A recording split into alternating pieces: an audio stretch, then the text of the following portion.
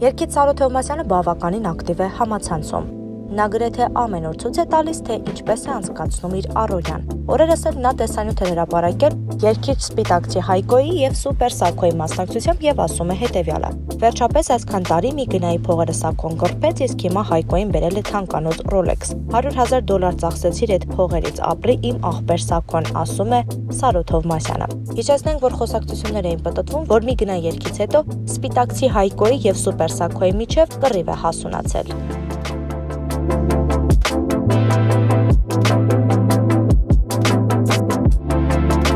Բաժանորդագրվեք մեր ալիքին սեղմեք զանգակի վրա, որpիսի առաջինը դուք տեղեկացված լինեք վերջին եւ ամենաթեժ լուրերից։